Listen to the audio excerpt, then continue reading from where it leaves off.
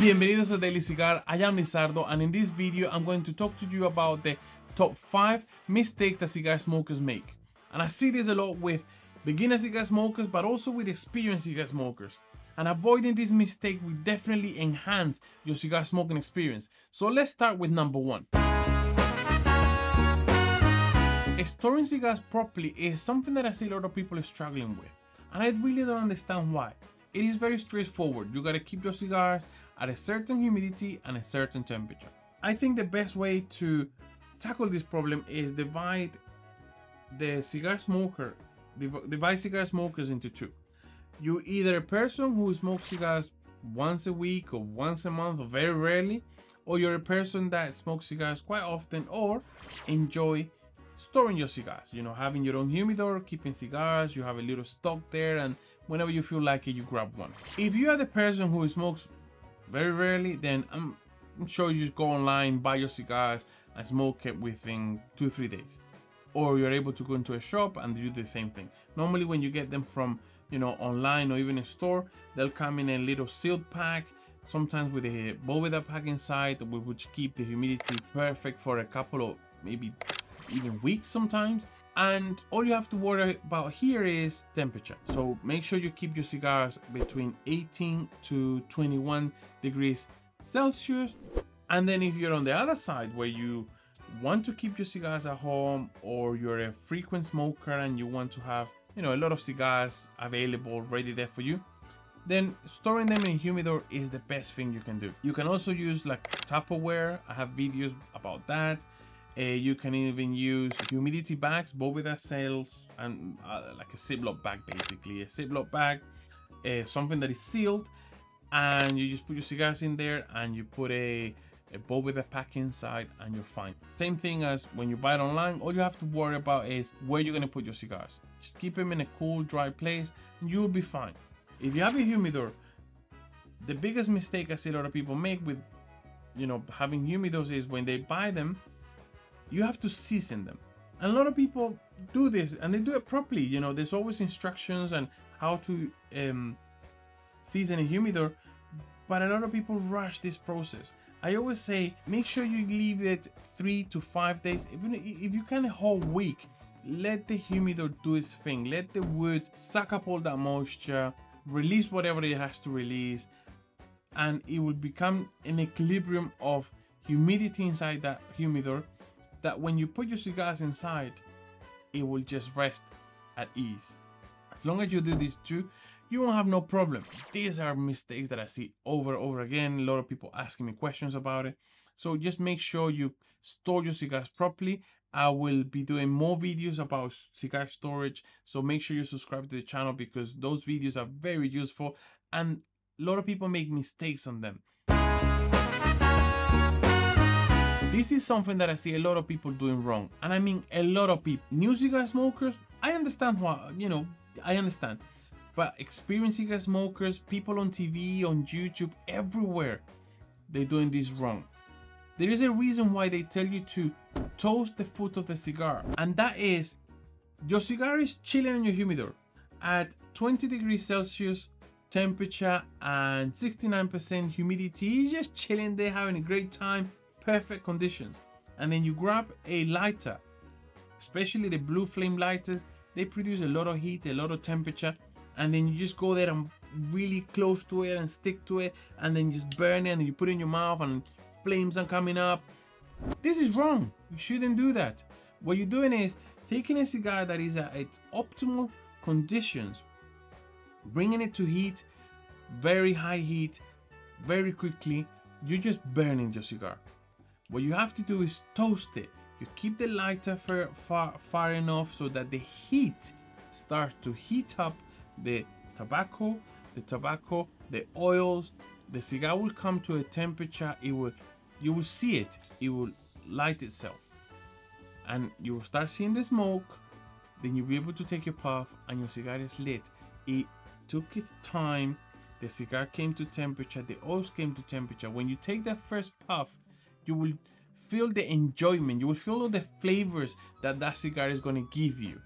When you're putting it too close, you're burning that cigar, you're burning all the oils, you're charring it. When you take the first puff, it's just char that you're gonna taste. That is not good. And I see this a lot, especially in Hollywood. I think Hollywood had a lot to do with this. Movies, you see the, you know, the cigar smoker there, just lighting his cigar and boom, boom, boom. You see these flames come. That is wrong. Hollywood had a lot to do with it, and I think especially new people in uh, coming into cigars, I think that's that's how they think it should be done. It does look cool, but it's wrong. This is another mistake that I see happens a lot, and it happens to the best of us. Sometimes I'm distracted myself and I just go and cut a little bit too much. But I see a lot of people doing it over and over again, and you have to be really careful because the way that the cigar is rolled is rolled in a way that it end up in the head of the cigar and then they put a little piece of tobacco which they call a cap on top of it to seal it all so that it doesn't unravel. When you cut too much of that cigar then that little cap that is holding the whole thing together you're basically taking it off and then what's going to happen is your cigar will slowly start to unravel. The wrapper will come off and then the cigar is ruined.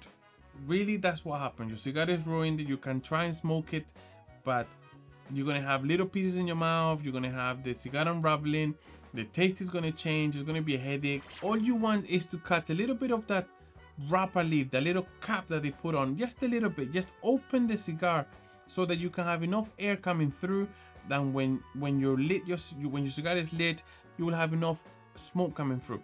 And it's always better to cut a little bit less than too much because if you cut if you didn't cut enough then you can just come back around with your cutter and cut it again but if you already cut too much then that's it it's gone your cigar is going to start to unravel and the experience is ruined this one this one happens a lot to people who come from smoking cigarettes for example when you're smoking a cigarette you know, you take puff, puff, puff, you take a little break, puff, puff, puff, a little break, puff, puff. You want to finish that. Cigars are completely different. You have to give it time. As I mentioned earlier, when you're lighting your cigar, you have to let the leaf, the oils warm up slowly. Same thing when you're smoking your cigar. You gotta give it time. So you take two puffs, two, three puffs, give it a break.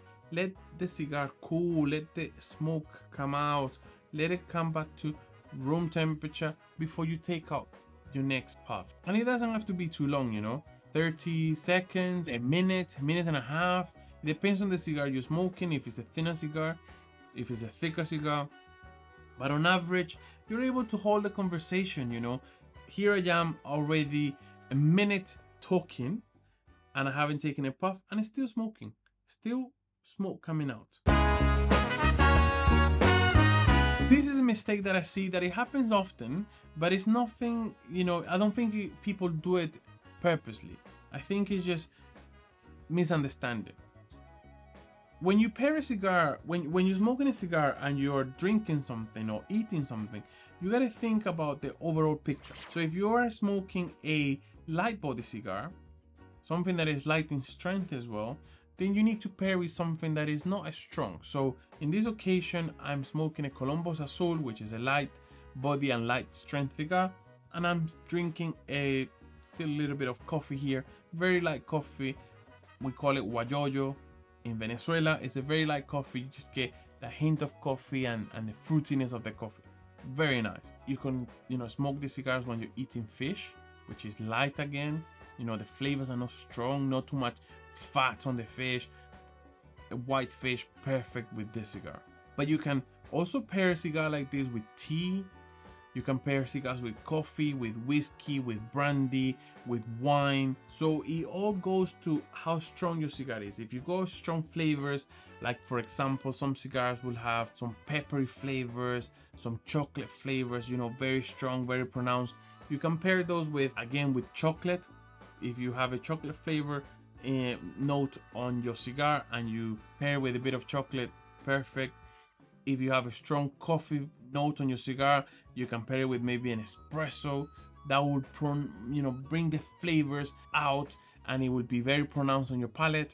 But you can also, you know, like wine when you have something fruity, some acidity, all of these flavors. You can think about what you're drinking to what you're gonna smoke.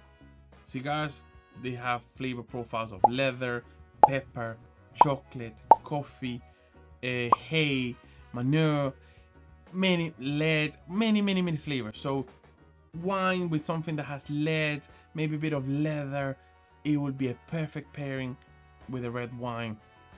Amazing. So think about those things when you're smoking a cigar when you're smoking and eating or smoking and drinking. Even when you're nibbling with you know olives or cheese or something think about these kind of things because these will definitely elevate your experience. It will make the flavors more pronounced the oils the fat all of these things will you know bring a concussion of flavors and it will also awaken your palate and make the experience much much more enjoyable. So in this video i just share with you five mistakes that i see happening a lot. And it's not just me who sees them. This is these are common mistakes.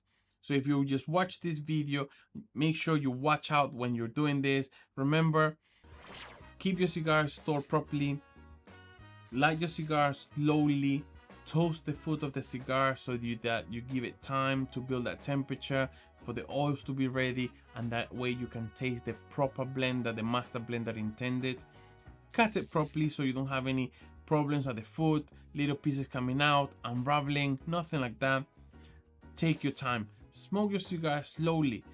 Again the temperature. Think about that temperature. Don't let it get too hot let the oils come up to temperature slowly. Every time you take a draw you'll be able to pick up those notes from those oils from the terroir where that leaf was growing and then never forget about a good pairing because pairing a cigar with something that works perfectly will enhance that experience and will make any cigar moment that you're having any of your you know cigar experiences 100% better. I hope you enjoyed the video. And if you have had any of these problems before let me know in the comments below.